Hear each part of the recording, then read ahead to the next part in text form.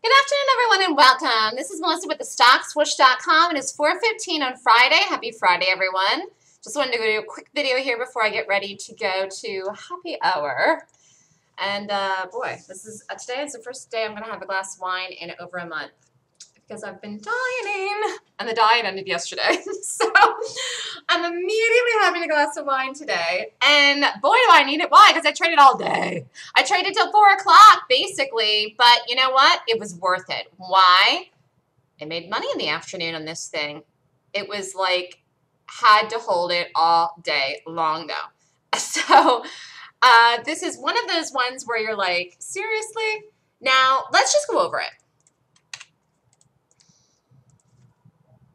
And I did the AMD actually this morning and followed that through in the afternoon. And I made as much money actually in the afternoon holding that as I did all morning. I didn't do this aggressively here. I waited. Did it here? Dropped. Get out of half. Lowered the stop because it didn't break the low and then trailed on the rest. So then I said, that's that with that one. And I was up in the AMD. And I was really happy that I took half out of that and then I lowered the stop. So I made out fine with the morning because it ended up rallying then. Rallied up here at a weird late time, 10.30 in the late, late morning period. And then I went on with watching my AMD and I talked in the room. Now, this didn't break the low. But then this couldn't get over this level here. It was actually acting very well, holding here, basically, okay? So I liked it.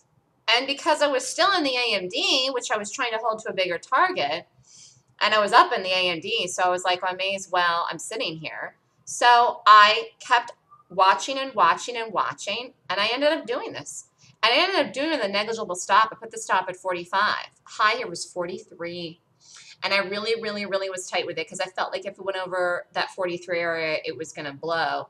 So I didn't want to give it a lot of room. So I actually had a really nice entry on this, and I was looking for 20. It didn't get there. But the risk to reward was good on this. Oh. Risk to reward was good on this. Let me come over here. And I actually stayed in this as long as I possibly could. So I got out of this in this barn here in the drop down. It did have one more push and touched off of 11, but this is very late. You really should be out of everything by no later than really 10, 5, 10 minutes before the close. This is this is really late for me to still be in a trade. But it had the push push right in here when it dropped and broke off. And here's where it broke the low of the day in here. Actually this bar. And then after that it dropped and broke. Actually no, here was the low of the day. It was 20. But it really stuck around this number, if you can see this here, like all day. It was playing with this number in here around 25, 25, 25. And here you can see in the one minute really good how it's basing. And it, and it set up like a breakdown play. So I did this with an extremely tight stop. And it ended up being a good risk to reward trade because I took a very tight entry and held it into the last 10 minutes of the day.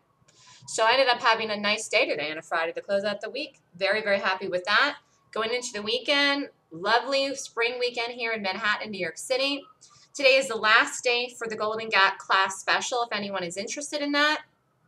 I will extend it through Saturday if anybody wants me to get the paperwork till tomorrow since I'm going out tonight. Uh, but the go next Golden Gap class is April 25th and 26th. So there you have it, MTW. The gap rated well this morning. It just took forever to go. Who knows why? I do like this for follow through and continuation into Monday. We'll watch them Monday and see where it goes.